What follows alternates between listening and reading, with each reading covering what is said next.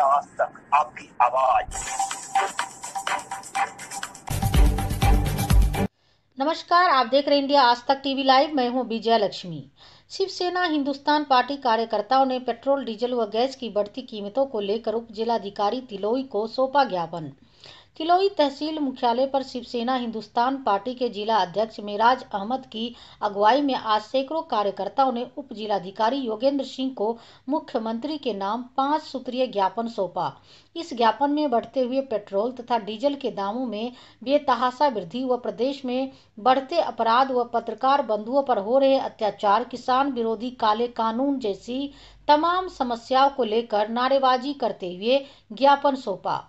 इस संबंध में उप जिलाधिकारी योगेंद्र सिंह ने बताया कि प्राप्त ज्ञापन मुख्यमंत्री महोदय को भेजा जाएगा। बेतहासा पेट्रोल डीजल के मूल्य में वृद्धि के बाद शिवसेना हिंदुस्तान पार्टी के जिला अध्यक्ष मिराज अहमद और शिवसेना कार्यकर्ता के साथ पेट्रोल डीजल के बढ़ते दाम को लेकर मुख्यमंत्री के नाम प्रशासन को ज्ञापन सौंपा।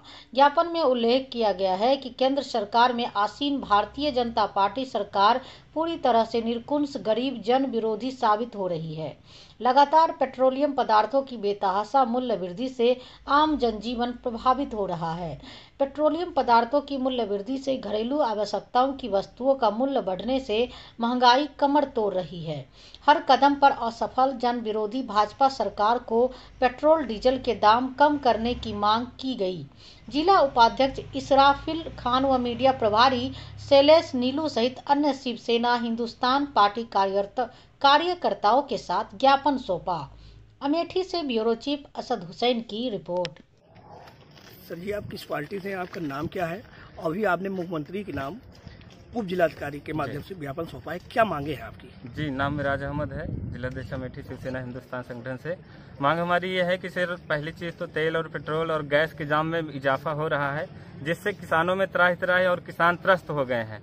इसलिए हमारी सरकार से मांग है कि पहली चीज़ तो तेल, पेट्रोल और गैस के दाम कम किए जाएँ, और दूसरी चीज़ प्रदेश में हो रहे अत्याचार, हत्या, बलात्कार पर भी अंकुश लगाया जाए किसानों की समस्या का समाधान किया जाए और सरकारी नल हैंड पंप खराब हुआ है गोरियाबाद चौराहे पे जिसके बारे में स्थानीय जिला प्रशासन को दर्जनों बार अवगत कराया गया लेकिन कोई कार्य सुनवाई नहीं हुई।